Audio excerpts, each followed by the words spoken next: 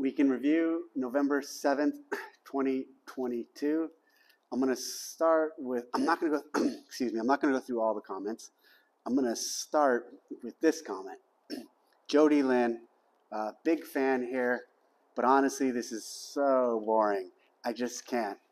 Um, I, I agree with you. I, I don't like the direction it's going and the format, so I'm gonna I'm gonna mix it up a little and do things differently. One of the first things I'm gonna do is I'm not gonna go through all the comments. In the beginning, when I was doing these, I wasn't going through all the comments. Then I started doing that. Now I'm gonna uh, just go through a few select comments, and I'm not gonna go over everything I did in the last week. But so let's keep going. This comment, though, I do want to address. Thanks for doing these. Um, I was wondering if you had a suitable alternative to the ultras that fell apart on you. So I'm experimenting with a bunch of different shoes now because the ultras, as you saw in a, in a different video I did, did fall apart on me catastrophically, I think, um, during a big adventure race. So I'm trying um, a few other brands to include Salomon and another brand called Topo. I think I'm going to experiment with Hoka. And I just interest, or I just recently saw, unrelated to those trail and hiking shoes, but this whole carbon fiber plate trend in running shoes over the past four or five years. And I'm going to start, um, I'm going to get a pair of those and start running and, and, experiment. If you have any knowledge of that trend, um, leave a comment.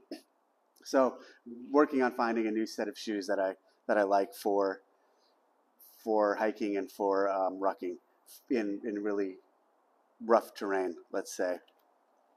Okay, so Molly asked, why should we not sprint as we age? Risk of injury too high. What should we do to mimic that intensity stimulus? So, the risk of injury for, for, for all out sprints, yes, for athletes, especially as we age, is, um, is very high. And a couple points to that. The, um, when I say sprint, the 400 meters in Helen doesn't count as a sprint. That's a 400 meter run. Even the 200 meters in um, a given triplet, or um, the 100 meters in we had a workout called SQT once. I had 50 down and back that had was paired up with some snatches. So let's say even hundreds or 50s that are paired up in a classic CrossFit style, like a triplet or a couplet, um, those 50s and 100s, especially in a continuous effort, are not too big of a concern for what I'm talking about. Why I say in a continuous effort is because if you were to do it where maybe you have fixed rest and you're able to go all out on the sprint, maybe it's um, sprint 50 meters, 10 snatches, rest three minutes, five rounds for time, that might be what I'm talking about. And I'll tell you what I'm talking about now. What I'm talking about is all out sprinting efforts of, of 20 to 100 meters, even 200 meters um, with rest and, and just going as hard as you can um, over and over, you know, five 100s, five 40s, six, seven 40s, something like that. And here's why um, the stress and the demands on the musculature, specifically on the hammies, in that high turnover, dynamic, repeated effort is greater than as especially as we get older than what we prepare our bodies for. The the athletes who sprint on a regular basis, um, uh, sprinters, you could even say some ball sports athletes, those guys warm up and train specifically for those efforts for all of their uh, training and through years of preparation for those events, meaning they, they started as kids, came through the system, came through the, the necessary training, um, benchmarks, pipeline, etc., in those sports. And they spend 30, 40 minutes, an hour long warming up, stretching, sport specific training, layered on with days of that, weeks of that, years of that, and and their bodies are well prepared and conditioned to those demands. We as CrossFitters, especially as we age, especially as I'm, I'm not talking about games athletes, or I'm not talking about people who get really competitive in that aspect of it, because they're going to sprint and they also spend basically their entire um, existence at this stage training. I'm talking about the people like me, like a lot of you listening, who go into the gym for one hour a day, three to five days a week, and you do that year after year over and over, which is a great thing. So you doing that is great for GPP and great for fitness. But if you've been doing that for two or three months and then some sprints come up and you warm, even if you warm up for 30, 45 minutes, um, and then you go off and you do some hardcore sprints, I just, you are at risk of, um, of essentially pulling your hamstring because it's, it's something we don't prepare for on a regular basis. So I've seen also people blow Achilles. I've seen a lot of I've seen a lot of injuries where people try all out sprinting without um, having a good enough foundation. And even when you look at athletes, uh, even in the pro sports, football, I just saw someone this past weekend or the weekend before pull a hamstring because he was sprinting and trying to keep up with someone. I mean, it's even common amongst those who do this for a living. So the reward for, uh, or the risk for the reward of that stimulus I think is a little too too high. Um, I think it is worth if you do have a sprint day at your affiliate or at your gym, or if you're doing doing something like that. Maybe you self-regulate for self-preservation. That's what I do. Actually, good point. We were in Santa Cruz a few months ago, and we had uh, they had some sprinting in the workout, and it was actually what I was talking about in the beginning. It was sprint all out into some wall balls and some other things. And Gary pulled up. He pulled his I think I already mentioned this, but I'll talk about it again. He pulled his hamstring, and I very deliberately was like, I am not running 100% on these runs at this point. There is no reason to do that. And so I was going at like 75 or 80%.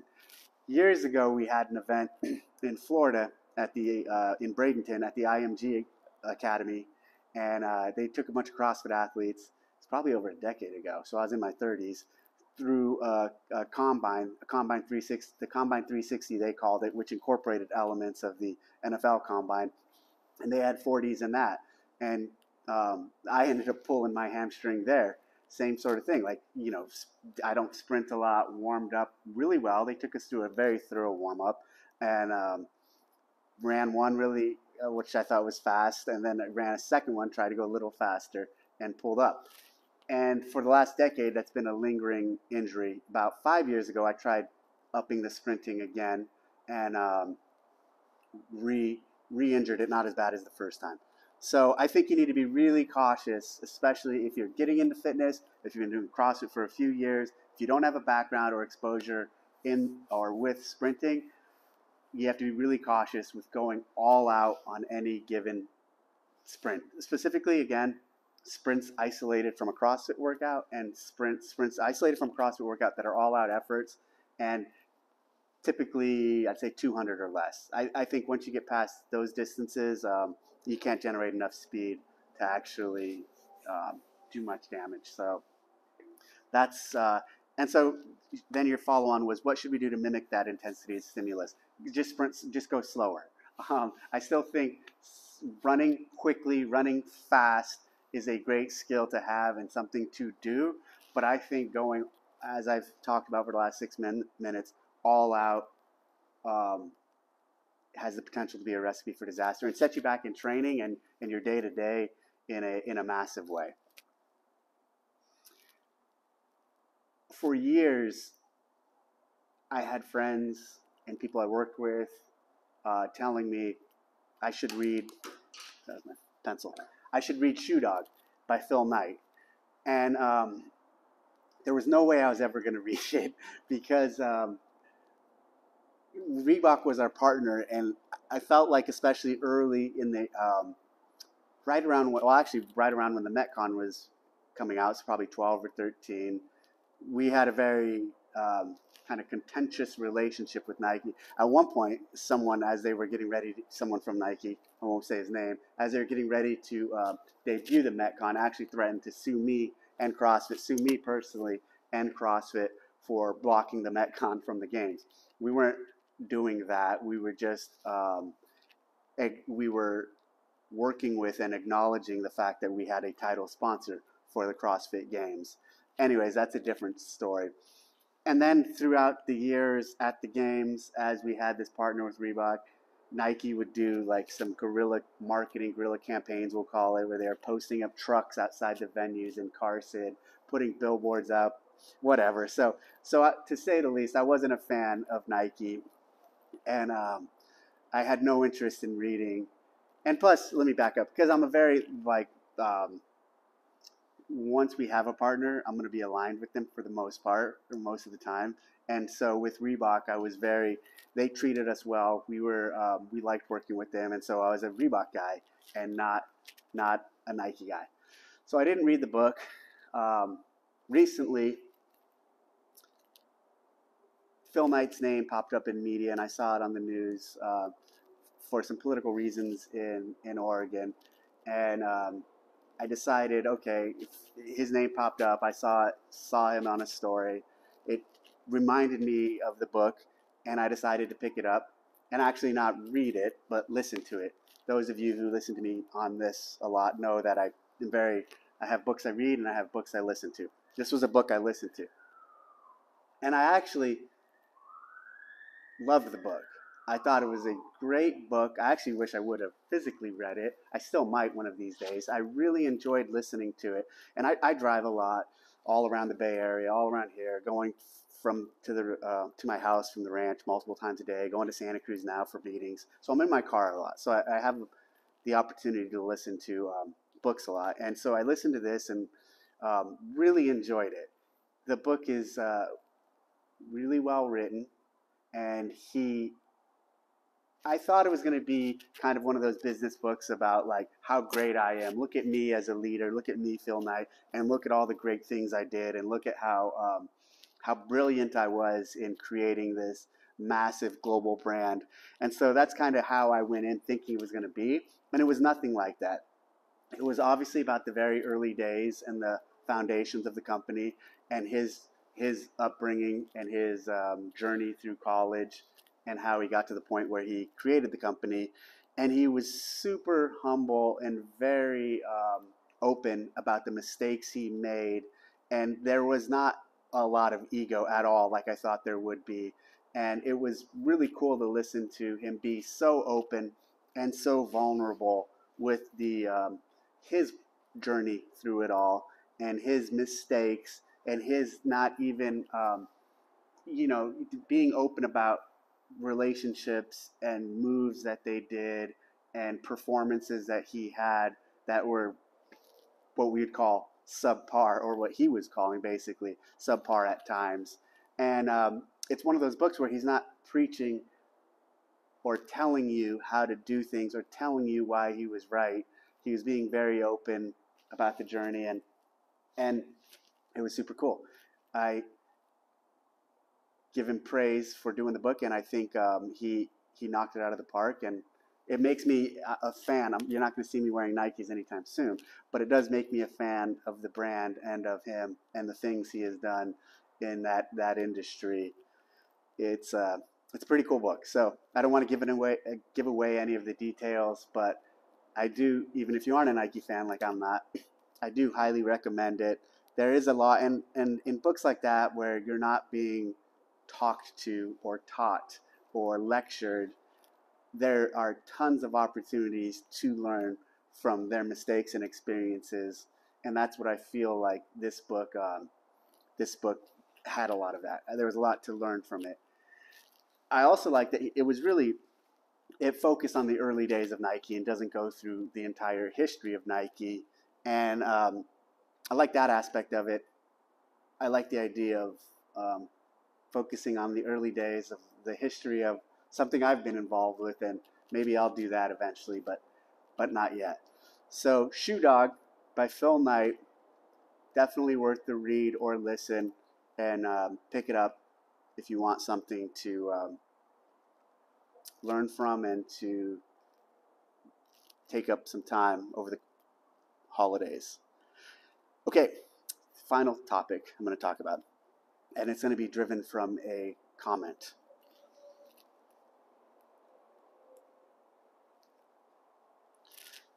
In a recent interview, you talked about how the CrossFit, average CrossFit CrossFitters are heavily influ- influenced by games athletes and their high carbohydrate intakes. You said the average CrossFitter would still be able to perform well with a lot less carbohydrate. Would love to hear more thoughts on this and what the pen- potential benefits would be in taking less carbs. I'm currently interested in performance and building a bigger, stronger physique. So the nutrition, this aspect, and this um, call it uh, recommendations in CrossFit has been very hotly debated for decades. I've been with CrossFit now for almost two decades, and there's always, even within CrossFit, it seems like the latest trend, the latest thing, and different recommendations and different paleo, keto, zone, but really, and heavily influenced by athletes. But let me even back up. When I first started with CrossFit and getting involved with CrossFit, uh, I realized very quickly, and especially spending time with Greg and learning from him and going to the level one, that CrossFit prescribed a lower carb prescription than the typical American diet. Typical American diet, you could say 50% or more carbs. The CrossFit prescription was largely based off of the zone diet, and that's uh, 40% carbs, 30% protein, 30% fat. And so that was our prescription, our baseline prescription to start off of, which was a lower carb. I wouldn't call the zone, especially these days, a low carb diet, but it was definitely lower carb than traditional diets, traditional American diet. And that was very popular and very utilized, especially by CrossFit staff and seminar staff and affiliate owners and those close to the circle in the early days um, for years, for decades, maybe even for at least a decade. And people still, eh, amongst our team, still zone um, and u- utilize the diet. And a couple notes on that. One of the reasons why it was so utilized and so effective, so recommended, was because it was so effective with this methodology and this program, we measure our weights, we measure our times, we keep track of our loads. Well, it also makes sense then if you're trying to optimize performance to measure your intake and to measure your intake via the macronutrients, carbohydrate, protein, and fat, and play around with that. Well, in those early days of people being really into fitness, people still are, but uh, a lot of us being really into fitness and seeing what was best for us when people use a lower carb and a zone like prescription, we saw performance uh, mostly, most of the time, optimize. Now, there were some, uh, there were um, areas and places where it was necessary to increase fat. And essentially, when you were increasing the fat, that made your prescription even lower carb overall and, and people saw great results with that. Then we had the paleo scene that became very popular, and, and that by nature became mostly low carb, even you could argue lower carb than um, zone. And then eventually the, the keto craze came, and, and the keto thing was kicking, you know, uh, recommending less than 30, 40 carb, 40 grams of carb a day once you were fat adapted. But that took some time to get there. So, all of that being said, um, with a prescription like that, where a traditional American diet and a traditional individual coming into a CrossFit box, they probably don't need more carbs than not. They need to have, especially if you're um, struggling with weight or have any um, ha- have any health issues. The the default for a CrossFit trainer prescription should likely be um, lowering the carbohydrate and monitoring um, what, what that's doing to performance and their health as they go. Definitely within the last four or five, maybe even six years, and I'll say last four or five, six years, because there was a phase where people like Matt Chan, Spealler, I think, but Matt Chan for sure, and some others were doing hardcore zone even while competing in the CrossFit Games. Um, and, and modifying it again with fat, etc., and seeing great results. But it seems like within the last five, six years, especially the last two or three years, um, a lot of athletes, games athletes, have gone super high carb, like super high carb relative to everything I just talked about. And they're using a lot of carbohydrate to fuel their efforts. Um, a lot of protein and a decent amount of fat. And they are seeing very good results for themselves with those prescriptions. It's funny because last few years when I've, I've tested with a lot of athletes here for the games, for games workouts or any workouts, I always ask them about their their uh, um, carbohydrate or, or their macronutrient breakdown, how they're eating. And th- there's female athletes who, you know, over 200 grams of carbs, 120 grams of, um, of protein, and, you know, like 100 grams of fat. That, I would say, is a, is a high carb diet. And a lot of these athletes eat very high carb diets. And the thing is, so they um, kind of celebrate, show it off on their Instagram, and they're very vocal about how they eat and that it works for them. But that's the thing. So you have to understand that context. These guys are also, a lot of them, training um, four to five times a day, five to six hours a day, every day of the week, very minimal rest, um, multiple sessions back to back to back. We, as an average CrossFitter, as a person just doing this for fitness, are not training at the volumes and the loads and the duration that those athletes are a lot of us are going into classes, one hour class a day, or if you're training in your garage, maybe you're only training for 30 minutes a day. And I think a lot of people, this is my, I contend that a lot of people who see them eat the way they eat use it as an excuse to eat to, to eat the same things, but because we train very differently and don't have the foundation, fitness foundation, um, volume foundation solidified that those athletes do, it's um, it's the wrong prescription. So I think CrossFit HQ in our education and and our voices, we need to do a better job of saying, okay, what they're doing is working for them, but they're also very unique. What we need to do, what the average CrossFitter needs to do, what the 99% of the world needs to do, CrossFitters, 99% of CrossFitters, is not what the games athletes or the athletes are doing in terms of nutrition because they are training very differently with way more volume and intensity than than we are. And so they can get away with that. The average CrossFitter cannot.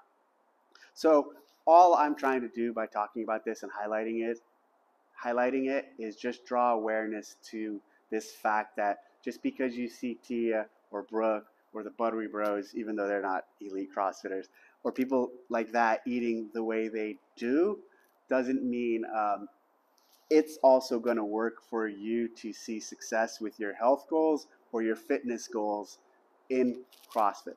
Also, understand I'm not saying don't eat like they do ever. I'm not saying don't ever eat a cake, don't ever have bread. Um, just understand that the the high carbohydrate diet on a regular basis for most CrossFit athletes who are trying to A, lose weight, B, get healthy, or C, get fitter probably is not a good prescription for those end states. So, um, I have pretty um, strong feelings on that just because I don't want to see our community. There, there's so much influence by the games athletes on what the majority of the community members do, and I don't want to see them get steered in the wrong direction where results are slower, where um, maybe they're not dropping the pounds, maybe they're not getting as fast or strong as quickly as they could be. Okay, final thing. Um, I had a call with Joe DeSena and Don last week, so uh, we got some cool things coming up with Spartan not ready to announce yet, but a cool little experiment coming up uh, coming up soon. So uh, stay tuned for that. Thanks for listening. I thought it'd be a lot shorter because I changed up the format, but it was still a long one. Um, hope you enjoyed it. Drop a comment in the comments.